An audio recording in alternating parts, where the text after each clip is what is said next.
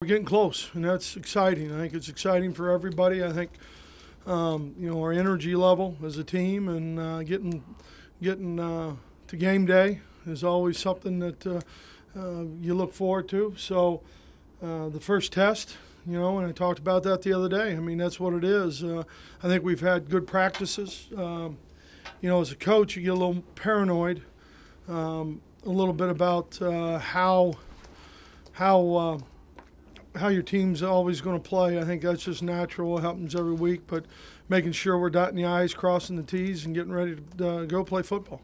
It's a lot more uncertainty though in the first game, I assume. Uh, you haven't, have anything to work off. Right, right, and, and, you're right, Mark. I think there's always that uncertainty out there, um, especially the first year.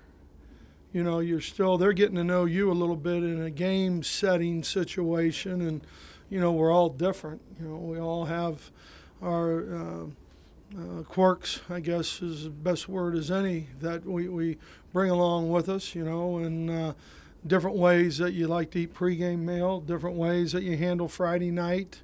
Um, so it's all part of it and all goes with it, and it's just a continual education and learning process. Might there be a moment during pregame when you're out there, take a look around and well, I mean, you always look, you always look around in that stadium. I mean, that's a beautiful stadium, and um, you know, Patrick, I assume there will be, but you know, game day's fun, and uh, uh, you know, when I say that, you know, I think sometimes uh, um, people, you know, maybe think it's not serious, but it's a fun seriousness to what you're doing, and you want to have fun out there, and you want to see a team play together and play with great, uh, um, um, you know, uh, spirit for each other. Given all this, the emotion of the day, did the celebration penalty thing? You guys addressed that quite a bit. Yeah, we have. You know, in fact, we had one in one of the scrimmages that we had out here that you know was close, could have been called, and so it was a good educating. You know, it was good to see it on tape and talk to the guys about it. We've had uh, the Big Ten officials in. We've had a lot of Big Ten officials at every, uh, every practice, you know. So, um, you know, you, you hope um, they understand there's consequences, you know, team consequences for it, and then obviously there'll be some personal consequences. Do you look at that five o'clock Friday practice as kind of an extension of game day and just kind of a carryover of the mindset that you want on Saturday? Yeah, pretty much. I, I would say that's probably right. I, you know, I, I don't believe in walkthroughs. Uh, uh, I think there's a way you prepare. I think it's important to sweat on Fridays a little bit. You know, some people uh, don't practice on Fridays, uh, but since I've been a head coach, we always have, and I think it's good for your guys, and it kind of. Uh, you know, if anything else, it drives down the mental uh, part where we want to be. It's a common way to evaluate players is to look at their stats and all. Yeah. Denard's were off the chart last year. With what you want to do with him in the offense, is it unrealistic that he could come close to matching what he did last year? And how will you judge him, evaluate him? Uh, wins. You know, that's the first and foremost. Uh, uh, I think us taking care of the ball and making good decisions. Um, you know, from a quarterback perspective to managing the offense to the uh, perspective of uh, uh, um, you, you, know how the, the flow and the tempo and everything else. You know, I you know I, I am not smart enough to to uh, talk about what kind of numbers I would think he would have. You know, as long as uh, um, the numbers on the left side of the scorecard are high, then he would have a, he would have had a good year. He had kind of an interesting debut against Western in 09. Have you watched tape from that play or that game? Nope. You've never seen that play? Nope.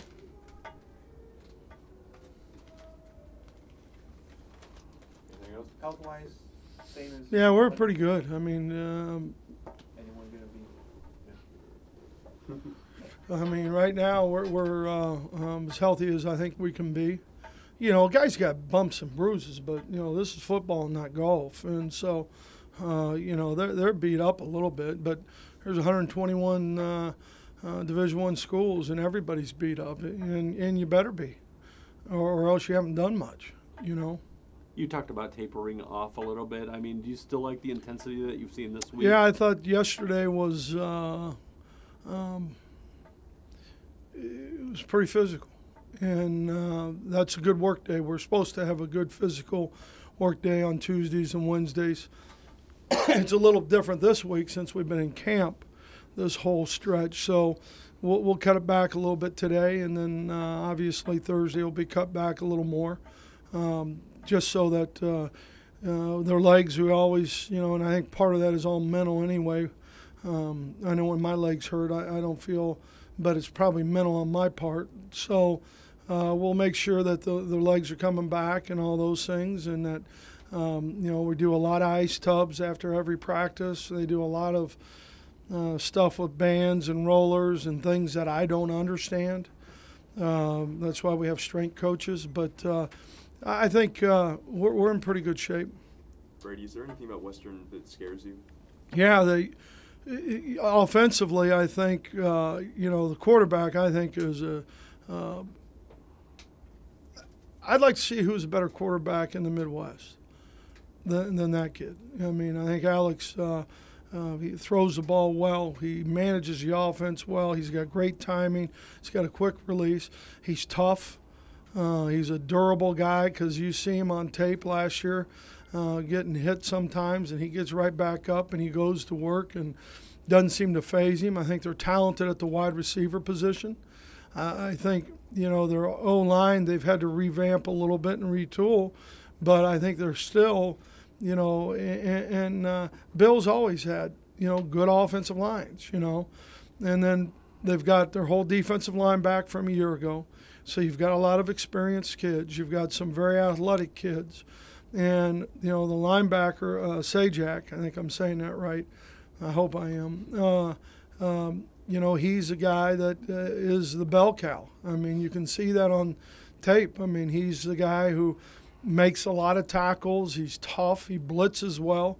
In the secondary, you know, um, they're pretty stout. So that it all bothers me. You know, probably not as much as us bothers me to making sure we've got to worry about ourselves more than any opponent and making sure that um, we're preparing the way uh, that we need to uh, to win. What's your most memorable big game experience in your career? Uh, you know what? Probably the Virginia game. You know, as an assistant here, and the way that thing uh, finished and um, you know with Mercury's catch in the end zone, and it was my first game at Michigan. I mean that was that was a pretty wild game, pretty good comeback. Lloyd's first game, right? Mm-hmm. And they had a good te- they had a good football team. You look at all those guys from that team who went and played in the NFL. They had a pretty good football team. How do you uh, sleep at night in general, and does that change as game day approaches? Uh, you know, this week or I'm not a big sleeper anyway, but this week is always uh, um, game week's always different. You know, Larry, you, I grind my teeth, so I don't sleep very well. It's not good for your teeth. I've been told that, or your jaw. Uh, I can't find it. I think I swallowed it. You're supposed to. How about still, Art? if, if you started a game today, Shaw would, would be your. Yeah, and I think that's fluid, though. I think it really is. Uh, you know, there's, uh, y- y- I think between uh, Fitz and Shaw and, and uh, uh, Vince, you know, I think they all have done some good things. They all have done some good things, but, you know, if uh, you would tell me right now, I'd say Mike would probably start the game, First play of power play? most likely. Sean, I know Al, so I, I most likely. Sean Fitz are two different backs. Is one of them skill set, their their build, more tailor made for what you want to do? Uh, you know, they, they are and they aren't two different backs. I mean, they're they're physical stature. They're they're different, but they both have a, a good burst, good balance. Um, I think they have good vision, which you need to have as a back. Um, I, th- I think they both run hard. You know, um, I think w- the, the the when you start looking at the offense as a whole, you know, you start looking at the protection, who's going to face up a linebacker, you know, in the A gap, and and they both have shown they're they're not afraid to do that. So you know, I think there's some subtle differences.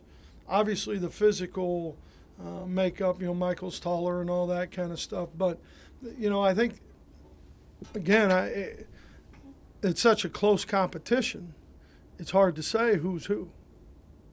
A lot of times you learn something you know, by coaching a guy, seeing him every day like that, that you didn't know Right. just watching on tape. How about Denard? Anything with him that you've learned about him? That I, I- I'm really pleased with his growth, you know, uh, and his command of the offense and his maturity as a quarterback.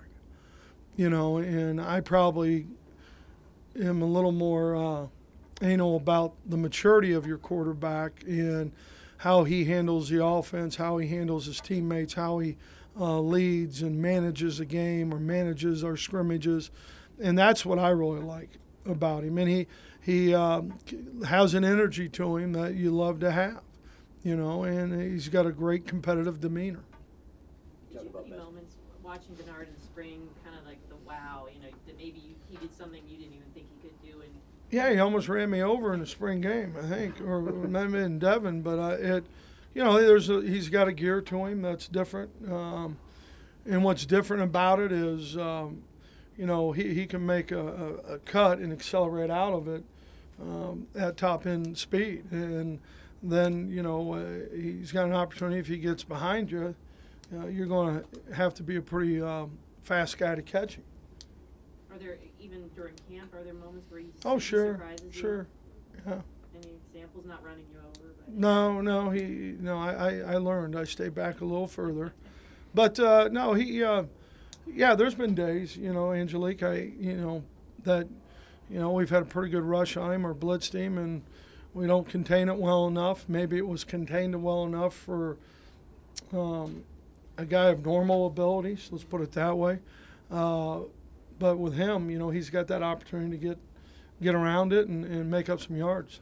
How's he doing with his checkdowns and finding, finding his checkdowns? He's doing good. He really is. He he's had a good fall camp. I, I would say, um, you know, I, I there's always things we can do better, but I think uh, he he forced one ball. I thought yesterday um, that he should have just you know he went to one to two, too late to go to three, went to three instead of just taking off.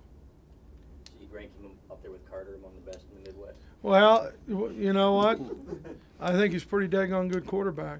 I, I'm glad he's at Michigan. Let's put it that way. What's Darryl Stonum's role gonna be in terms of? He's a great scout team wide receiver. He has been awesome, and um, he cherish, cherishes it. And um, I mean, he's he's been really competitive. You know, he gets on our DBs. He, um, you know, he's a guy who's got a lot of experience. So you couldn't have a better. You know, he's been Jordan White kind of for us this week. How would you describe the cupboard that Rich Rodriguez left here? I'm not going to get into that. Uh, you know, uh, these are great kids, and they came here to play and win for Michigan, and that's what uh, we want to give them the greatest opportunity to. A Couple more. Tay Odom still looks like he's sporting it. Yeah, that's practice cast. You know, um, he's fine. He's a pretty tough guy. You know, he jumped in. Uh, we do Michigan drill, and that sucker jumped right in. You know, and uh, um, I was real pleased to see that. Last one. with the running backs. You said in Chicago that if three weeks of fall camp went by, you'd be a little more concerned. How concerned are you that? You know, probably not as much as I said then. You know, um, from the simple standpoint that uh, the competition has really been awesome, and you know, I think competition is what makes us all better, and I think all these kids have done a great job. So, you know, we'll we'll see. You know, and we may have to use two guys for a while or a third down guy. You know, but. Uh, I think it will all clear out. You know, you play each other so much, and you know, defense knows what the line call is, and you know, there's it's, it's going to be fun to play somebody else. Brady playing someone else? Are you, is this a good test for your defense? You talked about the quarterback. I think it is. I, you know, I Bill Cubit is a smart man. He's always had good offenses. Uh, he uses his personnel well. Uh, I think when you've got a guy uh, like Carder as your quarterback, I think it uh, is an advantage for what he has in his tool chest, if you want to call it that. So I, I don't think there's any doubt. You know, um, th- there's some guys up there that haven't played much football. You know, uh, when you look at the, the two deep, and so they're going to be gaining some value, value, valuable experience in front of 112,000 or whatever it may be, and that's a whole different show up there. You know, State Street and Main Street, they're two different streets.